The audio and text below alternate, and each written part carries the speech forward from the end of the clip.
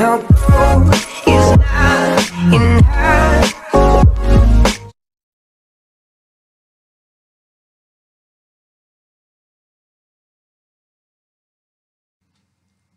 वालेकुम बच्चों। उम्मीद है आप बखैर होंगे। आपके इसबाक का सिलसिला शुरू करते हुए आज मैं आपको पढ़ाऊँगी सबक नंबर सत्रह, रफ़ी अहमद कुदवई आइए पढ़ते हैं। बिस्मिल्लाहिर्रहमानिर्रहीम। रफ़ी अहमद कुदवाई का शुमार हिंदुस्तान के मशहूर रहनुमाओं में होता है। वह मादर वतन के एक सच्चे, बेलौस और बहादुर सपूत थे। 18 फरवरी अठारह सौ चौरानवे को बमुकाम मसूली ज़िला बाराबंकी खां साहब शेख इम्तियाज़ अली के घर पैदा हुए। आज हम पढ़ रहे हैं रफ़ी अहमद खुदबई जो हिंदुस्तान के सच्चे सपूत थे और मसूली गाँव बाराबंकी के रहने वाले थे। इब्तदाई तालीम रिवाज के मुताबिक घर पर हुई। फिर गाँव के प्राइमरी स्कूल में दाखिल हुए। बाराबंकी से हाई स्कूल का इम्तिहान पास किया। आला तालीम के लिए अलीगढ़ गए। अलीगढ़ में जेर तालीम थे कि तहरीक तर्क मवालात में हिस्सा लेने के बाद एक साल के लिए जेल भेज दिए गए। जब वो अलीगढ़ में पढ़ रहे थे, जेर तालीम थे तो उन्होंने उसी वक्त सियासी अमल में हिस्सा लिया और उस वक्त कहा, सियासी अमल में, तहरीक में हिस्सा लेने के लिए वजह से वो जेल चली गई यहीं से उनकी सियासी ज़िंदगी का आगाज़ होता है। उन्होंने पंडित मोतीलाल नेहरू की रहनुमाई और जवाहरलाल नेहरू की रफाकत में सियासी तरबियत पाई। रफाकत यानी दोस्ती, उनके साथ मिलकर सियासी तरबियत पाई और अंग्रेज़ों के ख़िलाफ़ मुख्तलिफ़ सियासी तहरीकों में हिस्सा लिया। यूपी के मुकाम सियासी के सरगर्म कारकुन थे। उन्नीस सौ बयालीस की हिंदुस्तान छोड़ो तहरीक में पेश पेश रहे। जब उन्नीस सौ बयालीस में हिंदुस्तान छोड़ो तहरीक चल रही तो उसमें भी पेश पेश रहे, यानी आगे आगे रहे। रफ़ी साहब मुल्क व कौम की खातिर पाँच मरतबा जेल गए। जब हिंदुस्तान आज़ाद हुआ तो रफ़ी साहब पहले वज़ीर वासलात और इसके बाद वज़ीर गज़ा बनाए गए। उनकी शख्सियत बड़ी जानदार थी। वो अक्सर ख़तरात में घिरे, उन्हें मायूसी का सामना भी करना पड़ा, लेकिन उन्होंने कभी शिकस्त कबूल नहीं की। अक्सर वो है ख़तरे में पड़ गए, मायूसी का सामना करना पड़ा, लेकिन कभी शिकस्त कबूल नहीं की। वो एक बहादुर सच्चे सपूत थे। और उनके अज़म व इस्तकलाल, यानी उनके जो पुख्ता इरादा था, उसमें कभी कोई फ़र्क नहीं आया। अज़म इस्तकलाल, यानी पुख्ता इरादा साबित कदमी में क्या हुआ? कभी कोई फ़र्क नहीं आया। खुदवई साहब अमली इंसान थे, वो अमल पर यकीन रखते थे। अमली इंसान, यानी अमली इंसान होने का मतलब यानी जो काम करके दिखाता, जो काम करता है, वो अमली इंसान है। और अमल पर, यानी काम करने पर ही यकीन रखते थे। और काम को अंजाम तक पहुँचाने में अपनी इंतहाई कोशिश सर्फ कर देते थे, यानी आखिरी से आखिर कोशिश लगा देते थे। वज़ीर मवासलात की हैसियत से रफ़ी साहब ने रात की हवाई डाक का सिलसिला शुरू किया। जब वज़ीर मवासलात थे, यानी खबर, नशरियात, डाक, तार वगैरह का जब उनके इंतज़ाम कर रहे थे तो उन्होंने क्या किया? रात की हवाई डाक का सिलसिला शुरू किया। उस वक्त यह एक बहुत मुश्किल काम था। उसी तरह उन्होंने डाकियों को इतवार की छुट्टी दिलवाई। डाकिया जो खत पहुंचाता है आपके घर, वो डाकिया कहलाता तो इतवार, उस वक्त तो ज़्यादा डाकिया ही चलता था। अब क्या है? अब टीवी है, इंटरनेट है, मोबाइल है, उससे आदमी मैसेज भेज देता। लेकिन पहले लोग खत लिखते थे और ख़त डाकिया सबके घर पहुंचाता था। तो उन्होंने क्या किया? इतवार को, डाकिया को छुट्टी दिलवाई। ये भी कोई मामूली काम ना था, क्योंकि डाक का काम 24 घंटे जारी रहता है। एक दिन की छुट्टी से भी इसका निज़ाम दरहम बरहम हो सकता था। दरहम बरहम यानी तितर बितर इधर उधर काम हो सकता था। लेकिन रफ़ी साहब ने ऐसा इंतज़ाम किया कि डाकियों को इतवार के दिन छुट्टी के मिलने के बावजूद डाक का इंतज़ाम मामूल के मुताबिक चलता रहा। हुकूमत हिंद में वज़ीर गज़ा बन जाने के बाद रफ़ी साहब ने राशनिंग का खात्मा किया। बहुत से माहरीन ने कहा था कि राशनिंग हटाने की पॉलिसी पर अमल किया गया तो मुल्क तबाही के गार में जा गिरेगा।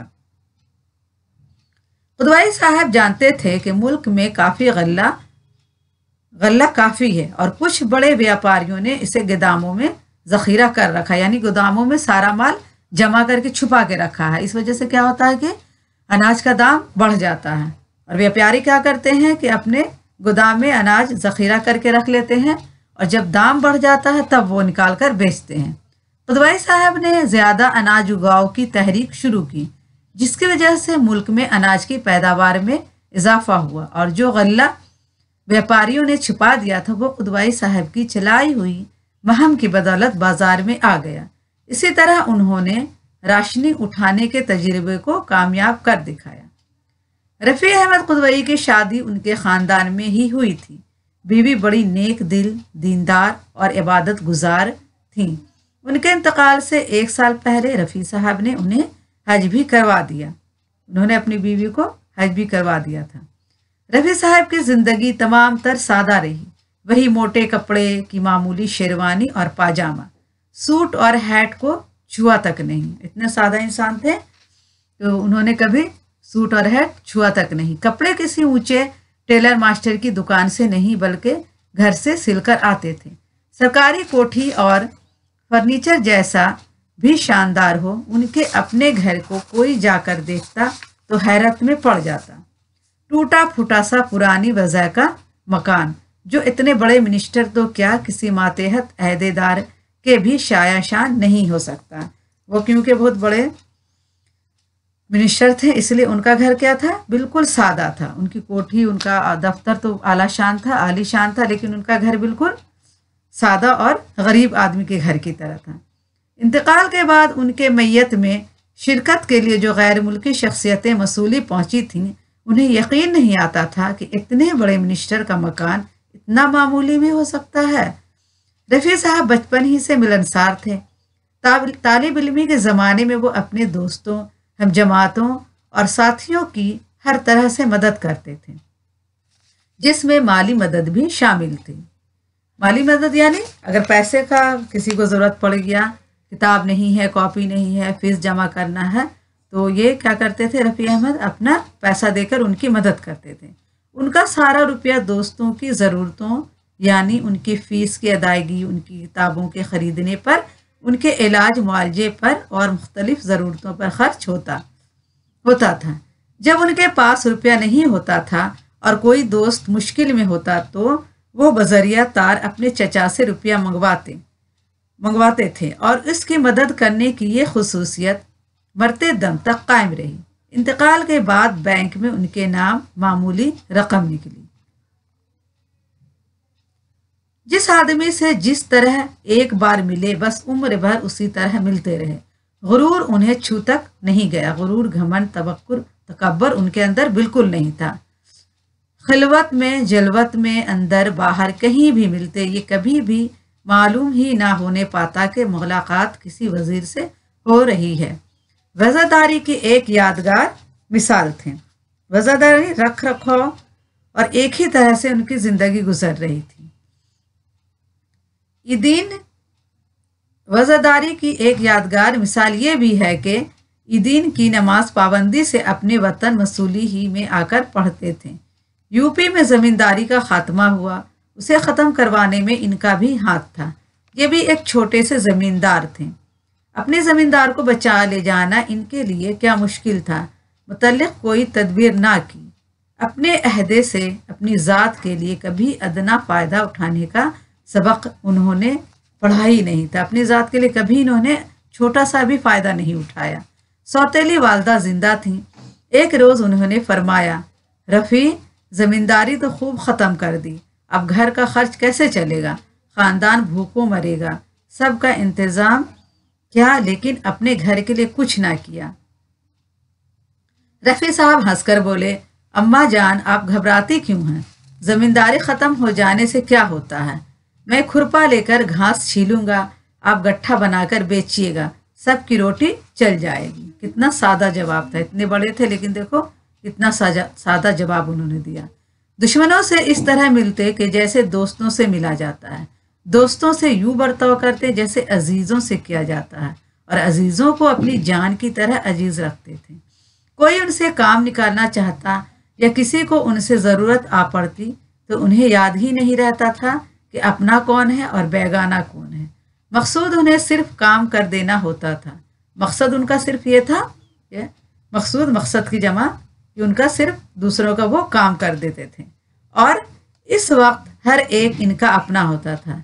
बेगाना कोई भी ना रहता। खल्क अल्लाह की खिदमत में वो इबादत की तरह करते थे।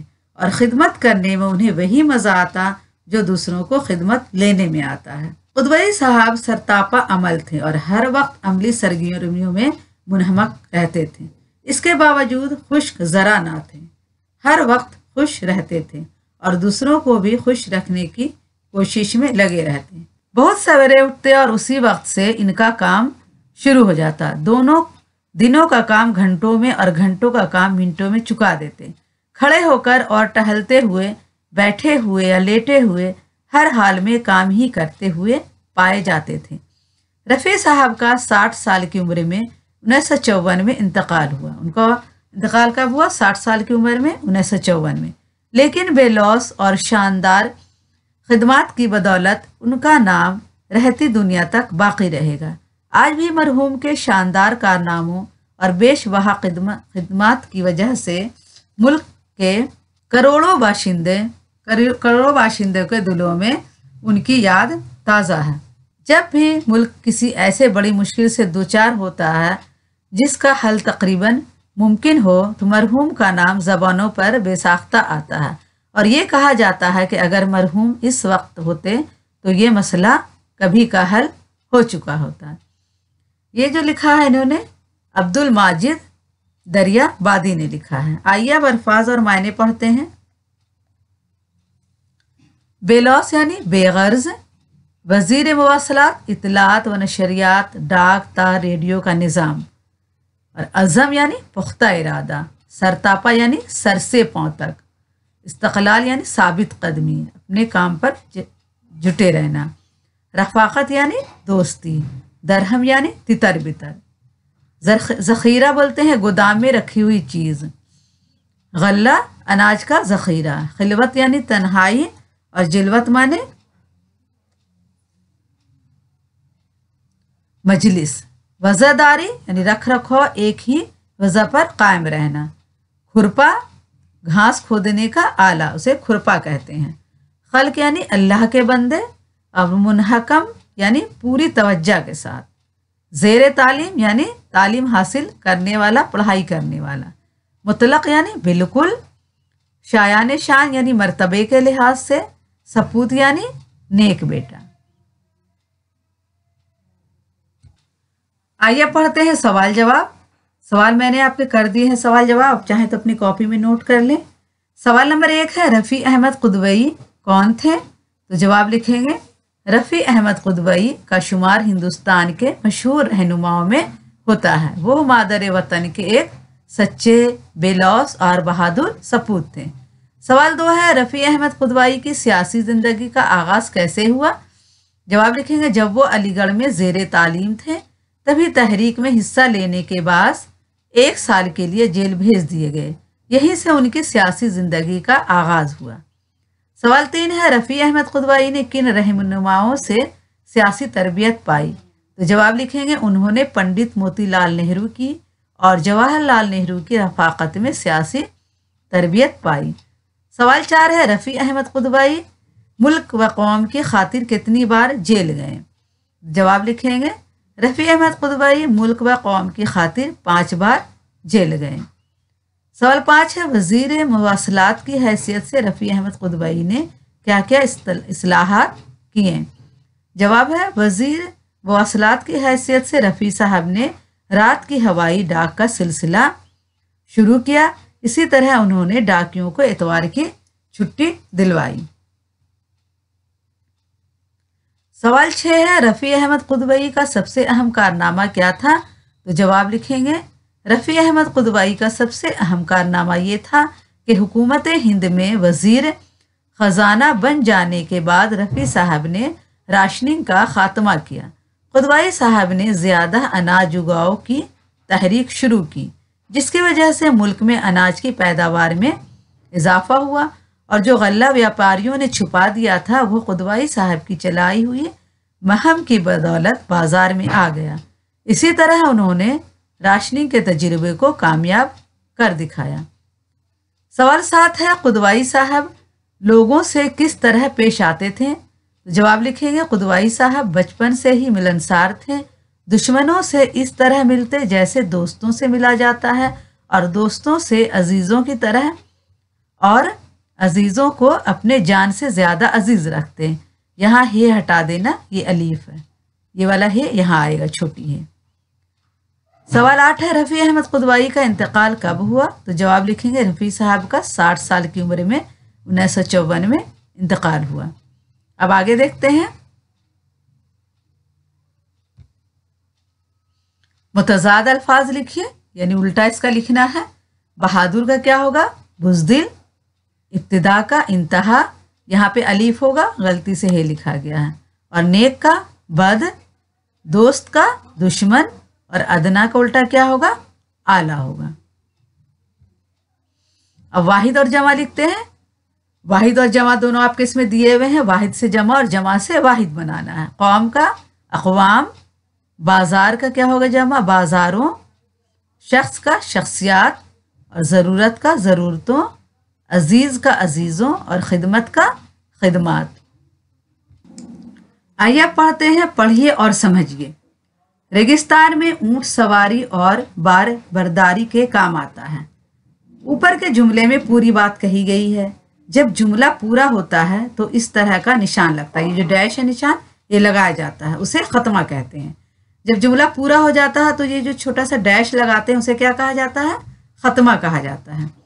किसी का मुकाबला इससे ज़्यादा ताकतवर, बड़े या ज़बरदस्त से हो तो इसकी बड़ाई का भरम खुल जाता है। इस जुमले में ताकतवर, ये दो छोटा छोटा वॉ लगा हुआ है, के बाद थोड़ा ठहरना पड़ता है। ये ठहरना कम वक्फे का होता है, ठीक है? जिसे इस निशान से ज़ाहिर करते हैं। जो छोटा सा कॉमा लगा हुआ है, इस निशान से ज़ाहिर कहते हैं, ये सख्ता कहलाता है। इसमें क्या लिखा हुआ है? किसी का मुकाबला इससे ज़्यादा ताकतवर, ये जो कौमा लगा हुआ है, इसे क्या कहते हैं? इस निशान से तो क्या कहते हैं? सख्ता कहलाता है। बड़ी बहन ने कहा, महमूद, जब तुम उड़ना सीख लो तो मुझे भी अपने साथ ले चलना। इस जुमले से साफ़ पता चलता है कि बड़ी बहन ने क्या कहा।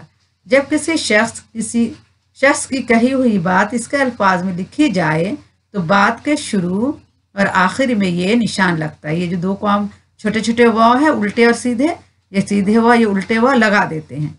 इन निशान को क्या कहते हैं? ववीन कहते हैं। बड़ी बहन ने कहा बाद जो निशान, ये छोटा दो बुंदा लगाया गया है, इसे राबता कहते हैं। ये सभी निशान रमूज औकाफ कहलाते हैं। क्या, हमने क्या क्या पढ़ा? सबसे पहले तो हमने ये पढ़ा कि इस डैश को क्या कहते हैं? ख़त्मा कहा जाता है। और ये जो छोटा सा ये छोटा सा उल्टा कौमा, इसे क्या कहा जाता है? सख्ता कहा जाता है। और ये जो छोटे छोटे दो उल्टे वॉ लगे हुए हैं, इसे वॉबीन कहा जाता है। और ये जो दो बूंदे लगे हुए हैं, उसे क्या कहा जाता है? उसे ये जो इसके बाद जो ये दो बूंदे का निशान लगाया जाता है, उसे क्या कहा जाता है? उसे राबता कहा जाता है। और ये सभी निशानात को क्या कहा जाता है? रमूज अखाफ कहलाता है ये सारा। आइए पढ़ते हैं गौर करने की बात। रफ़ी अहमद खुदवाई हिंदुस्तान के एक अजीम रहनुमा थे। तहरीक आज़ादी में उन्होंने बढ़ चढ़ कर हिस्सा लिया था। वो मादर वतन के एक सच्चे, बेलौस और बहादुर सिपा सिपाही थे। मादर वतन यानी अपने वतन के, अपनी वतन के माँ के एक सच्चे सपूत थे। उन्होंने अहले वतन की बेहतरीन रहनुमाई की। रफ़ी अहमद खुदवाई साहब नेक सीरत इंसान थे। रफ़ी अहमद खुदवाई साहब की पूरी ज़िंदगी कौमी इतिहाद सेकुलरिज्म वतन परस्ती की चाह में गुजरी। वो बहुत, वतन के बहुत सच्चे पुरुष, सपूत थे और वतन की चाह उन्हें बहुत थी।